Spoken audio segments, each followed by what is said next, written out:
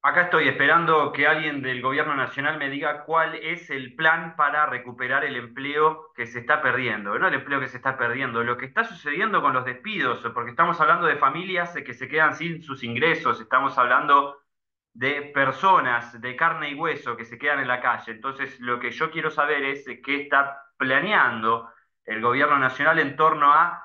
Hoy la noticia son los 700 trabajadores de Telam, lo cual ya de por sí puede marcar una inseguridad jurídica con juicios al Estado que pueden ser también millonarios, es decir, que el ahorro ahí no se produciría, pero hablo también de 150.000 despidos entre directos e indirectos en el sector de la construcción, que es uno de los motores de la economía en la Argentina. Estoy hablando de la paralización de la planta de Asindar, una de las más importantes eh, que tenemos en la provincia de Santa Fe, en la zona de Villa Constitución vaya uno a saber hasta cuándo, por el momento es por 30 días, estoy hablando de una caída en las ventas en eh, Fiat del 33% en el último mes registrado, ¿y esto en qué va a derivar?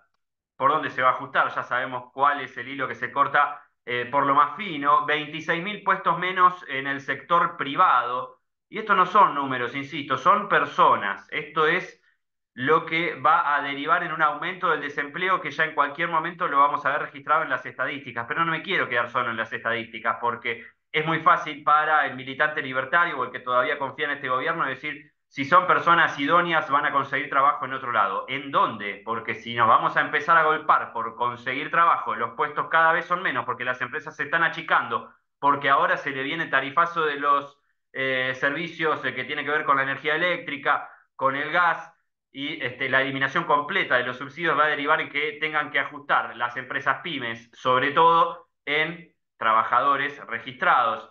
Entonces, ¿dónde vamos a conseguir trabajo si eh, cae todo? Cae la actividad, cae la recaudación misma del Estado. ¿Por dónde vamos a empezar a conseguir más trabajo? Lo que me gustaría que me digan es dónde está esa este, salvación que supuestamente tras atravesar los meses de marzo y de abril va a comenzar a surgir por arte de magia o por las fuerzas del cielo en la Argentina que va a provocar que haya cada vez más puestos de trabajo. Hoy tenemos miles de, cientos de miles de despidos eh, que eh, además se suman a la licuación absoluta de los salarios de trabajadores registrados y ni hablar de lo que está sucediendo en la economía informal. Entonces, a mí me gustaría saber dónde está eso que supuestamente nos va a beneficiar a todas y a todos a partir del mes de mayo. Yo me voy a quedar esperando y espero que haya también grandeza en reconocer, ya que el gobierno mismo es el que está llamando a un gesto de humildad y de grandeza para sentarse a discutir el pacto de mayo, el día 25, en la fecha patria más importante que tenemos en Argentina.